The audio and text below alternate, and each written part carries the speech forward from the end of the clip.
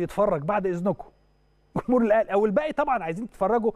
هم النادي الأهلي أو جمهور النادي الأهلي بيبقى فخور وكل حاجة ولكن الباقي بيقعد يتفرج فقط. فقط.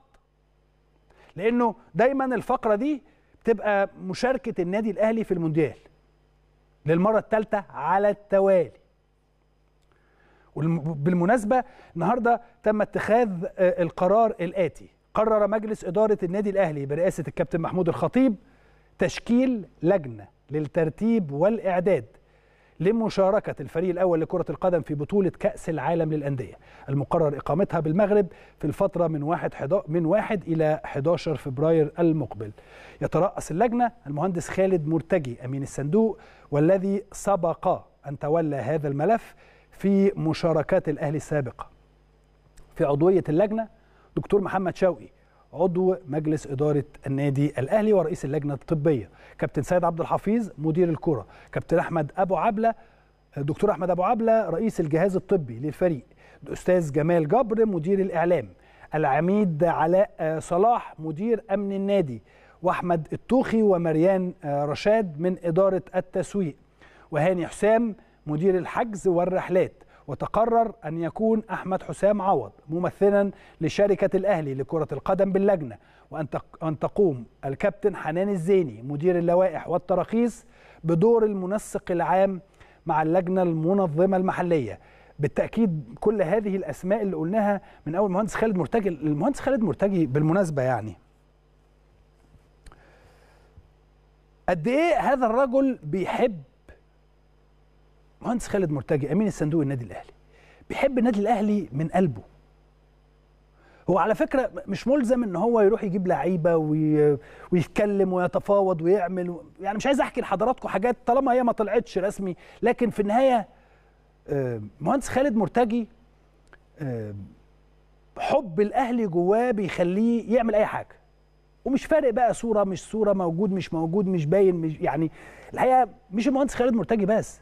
وزير العمري والأستاذ طارق أنديل والدكتور محمد شوقي كل أعضاء مجلس الإدارة اللي موجودين كابتن حسام غالي الدكتور مهند الأستاذ محمد الغزاوي كل المجموعة الأستاذ محمد الجرحي الأستاذ محمد الضماطي مي عاطف كلهم كل واحد فيهم بيبقى ليه دور بيحاول يعمله.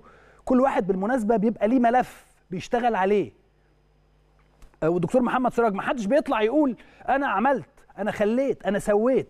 كلهم بيقودهم رئيس نادي رئيس مجلس إدارة كابتن محمود الخطيب اللي اللي هو زي ما حضراتكم شايفين شغال في كل الاتجاهات في كل الاتجاهات. التجمع الخامس أو القاهرة الجديدة مقر النادي الأهلي في القاهرة الجديدة. حاجة أنا قريب جدا قريب جدا. أنا بحاول اليومين دول إن أنا أروح أعمل هناك تقرير عن المقر القاهرة الجديدة. أنا مستني بس لما الأمور تنتهي هناك عشان أوري لحضراتكم العظمة اللي بتحصل هناك. أوري لحضراتكم إيه الجمال اللي بيحصل هناك. مش في القاهرة الجديدة بس في القاهرة الجديدة وفي الشيخ زايد وفي مدينة نصر وفي الفرع مقر النادي الأهلي الرئيسي اللي في الجزيرة وفي كل حتة. هذه هي أو هذا هو النادي الأهلي. كل الأسماء اللي إحنا بنتكلم عليها دي كلها أسماء تذوب عشقا في النادي الأهلي. بتحب النادي الأهلي لدرجة والكلام اللي أنا بقوله ده مش تطبيل. الكلام اللي أنا بقوله ده في حاجات ما أقدرش أقولها أو ما أقدرش أو في مواقف بكون حاضرها ما بقدرش أحكيها. أنا حضرت مواقف مثلا مع الأستاذ خالد مرتجي. ما أقدرش أحكيها ما أقدرش أطلع أحكي حصل واحد اتنين تلاتة. ما أقدرش لأنها حاجات خاصة بالنادي فما أقدرش أطلع أتكلم فيها إلا لو أذن لي يعني. ف بشوف حاجات أستاذ خالد مرتجي الوزير العمري الاستاذ طارق كل الناس كل الناس اللي موجودة.